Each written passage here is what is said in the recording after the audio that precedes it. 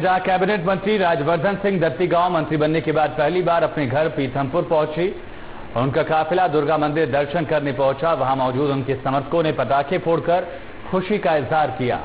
इस दौरान पीथमपुर के डेवलपमेंट पर राजवर्धन सिंह ने कहा कि मैं हर संभव प्रयास करूँगा।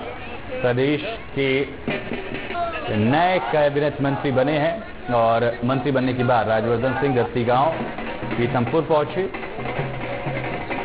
दुर्गा मंदिर में पहुंचकर माँ का आशीर्वाद लिया और उसके बाद बयान दिया है कि इलाके के विकास के लिए वो प्रतिबद्ध हैं।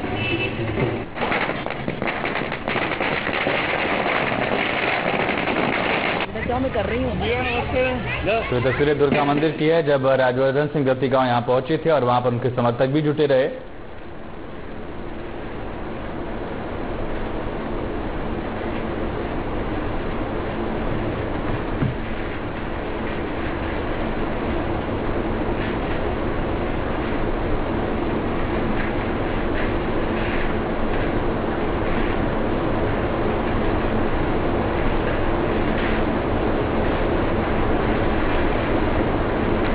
इंदौर के सुखलिया क्षेत्र के श्रीहरि पब्लिक